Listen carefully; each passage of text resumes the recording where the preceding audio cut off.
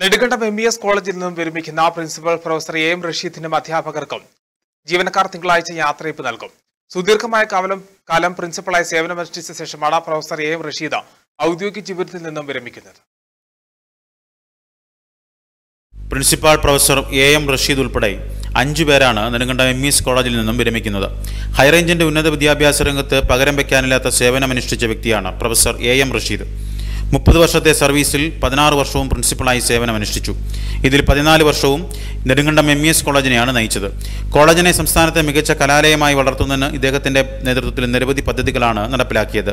ഹൈറേഞ്ചിന്റെ ഉന്നത വിദ്യാഭ്യാസ രംഗത്ത് Nedumkandam M E S college നടത്തിയ മുന്നേറ്റത്തിന് ചുക്കാൻ പിടിച്ച പതിനാറ് വർഷക്കാലമോളം അദ്ദേഹം പ്രിൻസിപ്പളായി. കേരളത്തിലെ ഏറ്റവും റെക്കോർഡുള്ള കാലം പ്രിൻസിപ്പളായിട്ടിരുന്ന വ്യക്തിയാണ് റഷീദ് സാർ. അദ്ദേഹവും അദ്ദേഹത്തിന്റെ കൂടെ